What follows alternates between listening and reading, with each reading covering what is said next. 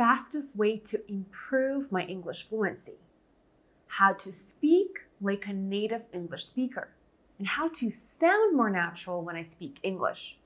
Stay with me for the answers of these questions and a lot more information about the best way to use the shadowing technique in English.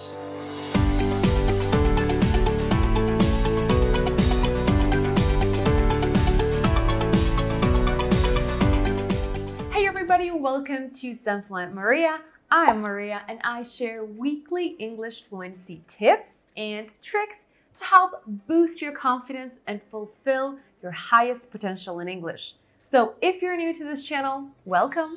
Today, we're talking about the shadowing technique in English, or as I like to call it, the imitation technique. What is it? Why is it probably the best way to reach fast fluency in English? And how to do it the right way? Before we get started, I want to remind you to subscribe to this channel if you haven't already and click on that like button down below to support me. Without further ado, let's get into the video. When it comes to speaking English fluently, shadowing is often considered one of the most effective techniques. Now, what is shadowing actually? Shadowing is simply you imitating someone else's speech, usually a native speaker speech. So basically, you are repeating what they said. So, what's the catch? How can this shadowing make me speak and sound more natural in English? Well, of course, there's a catch. When we say repeat, imitate, shadow, or however you want to call it, we mean to repeat it exactly as the native speaker said it, with the same intonation, melody, their voice, and the rhythm. This helps to train your ear to recognize various sounds of the language and learn the correct pronunciation.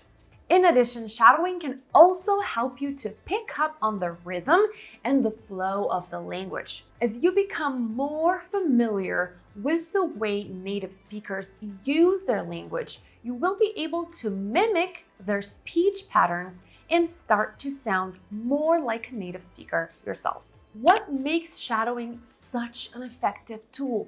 The reason why this is probably the best technique for mastering your fluency faster is because it helps you develop that natural flow of speaking. What does this mean? It means that you will be able to feel the language as you speak it. You will feel the rhythm, feel the words connect with English on a whole other level. If you practice long enough, you will develop that sense for hearing and noticing the melody and rhythm of English communication. What's the best part about shadowing? Well, you can do it anywhere. You don't have to be at home. You can be on your desk, you can do it on in the car, in the office, or even at the beach. I used to practice this method a lot and I still do it today. It's interesting because it doesn't feel like studying or practicing English, but it's actually very fun. Because I like to watch American TV shows, my practice was always during watching an episode of a TV show, usually Friends. So I would lay in my bed, play an episode, and begin. Now, let me show you how to get started with shadowing and how to do it correctly. First, you will choose an audio clip that you want to shadow. This could be a conversation between two people, a news report, or anything else that you find interesting. Now, please know that it is important that whatever you choose is interesting to you. Don't do it just for the sake of the practice. Find a voice that you like listening to, a voice that resonates with you. If it is a conversation between two people, choose the person you want to shadow. Also, it is crucial to have a transcript of English subtitles along with the video or audio so that you can follow through. For the sake of this video, I chose different clips from the TV show Friends. I will show you a short clip with different sentences and I will shadow along with it. Now, once we have our video and audio ready, I will listen to the video clip several times so that I'm familiar with the content.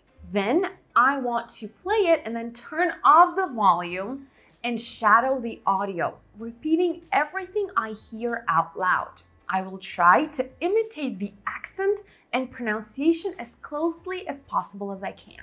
Let's see how that will look like. Okay, so I will play a video from Friends, I will listen to it, and then I will repeat exactly as it says on the clip. Okay, let's do it. Oh, I wish I could, but I don't want to. Oh, I wish I could, but I don't want to. Let's do it one more time. Oh, I wish I could, but I don't want to. Oh, I wish I could, but I don't want to. And one more time. Oh, I wish I could, but I don't want to. Oh, I wish I could, but I don't want to. Okay, let's do the second example. It doesn't happen to every guy, and it is a big deal! It doesn't happen to every guy, and it is a big deal. Let's do it one more time. It doesn't happen to every guy, and it is a big deal! It doesn't happen to every guy, and it is a big deal. See how um, here the, the stress is on it doesn't happen to every guy, and it is a big deal. Okay, let's do the third one. But see, they don't know that we know that they know. But see, they don't know that we know that they know. One more time. But see, they don't know that we know that they know. But see, they don't know that we know that they know. Na na na, na na na, na na na. See the flow here? Okay, let's do it one more time. But see, they don't know that we know that they know. But see, they don't know that we know that they know. Okay? And that's it. All it takes is five to 10 minutes a day. Continue shadowing for as long as you can. And then take a break. It's important to take a break. Remember to keep practicing regularly so that you can improve your skills. Now, in order to do shadowing the right way, it is crucial that you are present when you practice. Don't let your mind wander around and just vaguely repeat the phrases or the words that you hear.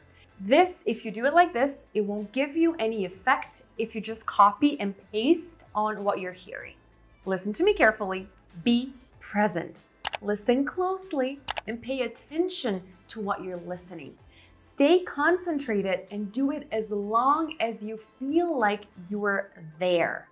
Once you see that you are losing focus, pause and continue another time. Finally, one very effective tip that I have for you is to record your shadowing practice. So, what you do is you basically record the whole practice. After you finish practicing, you will listen to the recording and then you have the chance to correct your mistakes and do it better the next time. Trust me, you will notice your mistakes. You will notice how your voice um, increases or decreases. You will notice your intonation and pronunciation, how they sound, and then you will try and correct yourself in your next practice. And that's it. Now, my question to you is Have you ever tried the shadowing technique? If you did, let me know if you like it and let me know if it works for you. And if you've made it until the end of this video and you haven't subscribed yet, make sure to hit that subscribe button and give this video a big thumbs up to support me. Until the next video, I wish you a wonderful, beautiful day. Stay zen, and I will see you then.